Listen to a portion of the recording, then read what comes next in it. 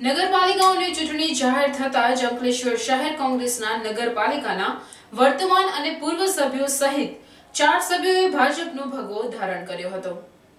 જ્યારે પણ ચૂંટણી આવે ત્યારે કોંગ્રેસ અને ભાજપ પોતાના પક્ષ મજબૂત કરવા માટે તોડફોડ કરતા હોય છે. અંકલેશ્વર નગરપાલિકાના વોર્ડ નંબર પાંચમાંથી ગત ટર્મમાંથી જીતનારા કોંગ્રેસના વર્તમાન સભ્ય અમીર અલી મુલ્લા,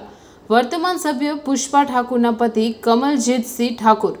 પૂર્વ કોંગ્રેસી સભ્ય વિક્રમ મજમુદાર તથા પૂર્વ ભાજપના વિનય વસાવાએ ભરૂચના રાજપૂત છાત્રાલય ખાતે ભાજપનો ખેસ પુનઃ ધારણ કર્યો હતો.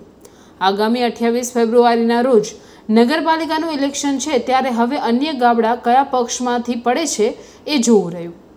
જનતાની પણ નજર પક્ષ પલટુઓ પર જ છે.